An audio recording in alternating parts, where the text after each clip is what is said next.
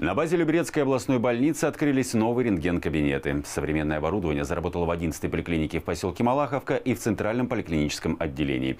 О новых возможностях диагностики и обследования пациентов наш следующий сюжет.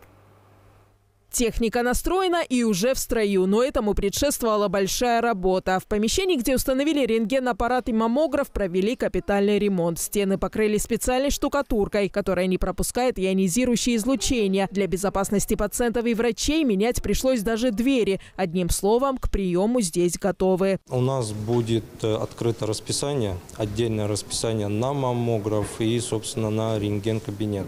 А, можно будет записаться через э, 120 22 через колл-центр, через госуслуги, МОСРИК и в том числе через регистратуру, придя в поликлинику. Новый рентген-аппарат позволит точнее определять патологии костей, суставов и внутренних органов, а маммограф способен увидеть даже мельчайшие новообразования и тем самым помочь предотвратить развитие рака молочных желез. Оборудование, что для нас немаловажно, российского производства, соответственно, в дальнейшем с эксплуатацией не будет никаких проблем, и, конечно, оно позволит э, проводить э, осмотр наших жителей гораздо быстрее, гораздо качественнее в новом, э, новом таком спектре разрешения. Появление рентген-кабинета в 11-й поликлинике значительно сэкономит время жителей поселков. Записаться на обследование могут пациенты со всего городского округа. По такому же принципу работает аналогичный кабинет в центральной поликлинике в Люберцах и недавно открывшийся маммологический центр в 6-й поликлинике.